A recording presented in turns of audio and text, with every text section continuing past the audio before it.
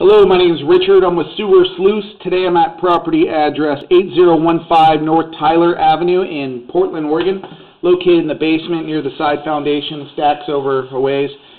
Four inch cast iron clean out, that's going to be my point of access. Going to put the counter on zero and advance out, check the overall condition and serviceability of the sanitary sewer. This used to be a party sewer with 8003 North Taylor.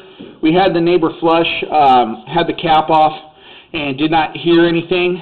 Um, also, it looks like some patchwork was done in the street, I'm just going to recommend further investigation on that just to rule out that the neighbor has unhooked and uh, in recent years had their own sewer line. If not, notify the city, but right now we're just going to advance out and uh, evaluate the line.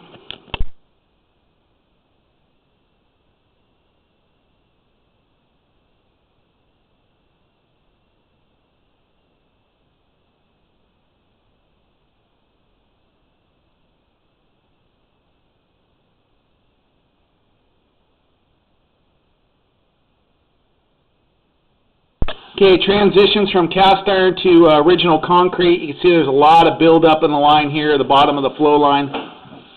It's in pretty bad shape. Roots uh, throughout this pipe here. I don't think we're going to be able to get very far. We'll do our best to get out. Big old root balls in this line.